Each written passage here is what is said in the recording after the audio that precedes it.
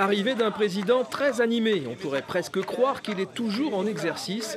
Il faut dire que Valéry Giscard d'Estaing est resté très populaire et particulièrement dans ce département.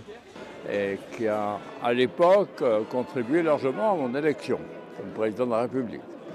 Alors j'ai été invité par l'ensemble des élus, enfin les, la Mayenne, et je suis venu le rencontrer, parler, parler de ce souvenir important de ce qu'a été une élection, euh, voici 40 ans, la troisième de la République, la cinquième République. Double anniversaire au programme de la Garden Party Made in Mayenne, avec près de 1000 participants et une figure de l'histoire moderne de notre pays qui vient avec nous pour euh, fêter le 40e anniversaire de son accession à l'Élysée, qui correspond d'ailleurs au 40e anniversaire de mon engagement politique, puisque je me suis engagé pour la campagne de Valéry Giscard d'Estaing euh, en 1974.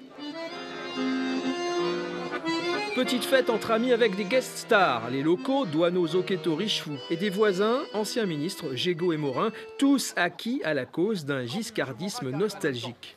Personne n'a oublié l'IVG, personne n'a oublié la révision institutionnelle, personne n'a oublié la libération des moyens de communication, bref, un certain nombre de, transformations et l'inscription euh, de, la France dans, euh, euh, un schéma d'un pays qui décidait de se moderniser.